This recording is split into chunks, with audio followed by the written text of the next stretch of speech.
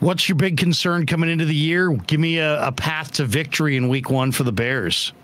Um, the timing and tempo of Justin Fields. If he sees this offense, how Luke Getsy is calling the plays, then I think we're going to see a playmaker at quarterback that has elusiveness that can extend the pocket, unlike a lot of other quarterbacks that the Bears have ever had within this franchise. If he's slow to throw the ball, slow to recognize the open receiver, holds on to the ball, can't avoid the rush, then I think that it's an offense that's going to have some uh, tough tough times ahead.